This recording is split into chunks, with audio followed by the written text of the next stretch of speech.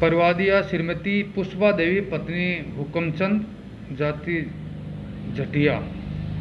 उम्र अड़तीस साल, निवासी जटिया कॉलोनी पाड़ा पाड़क अजमेर ने श्रीमान न्यायालय जेब नंबर पाँच से एक इस्तगासा इस आशय का प्रेषित करवाया कि ये प्रार्थीगण राजू दोलिया व अशोक कुमार को पड़ोसी होने के नाते पर दो चेक और कुछ एग्रीमेंट करवाए थे जिसमें प्रवादियों ने यह बताया कि मकान का आधा हिस्सा बेच के मैंने ए प्रार्थियों का कर्जा चुका दिया उसके बदले में मुझे एक चेक तो दे दिया।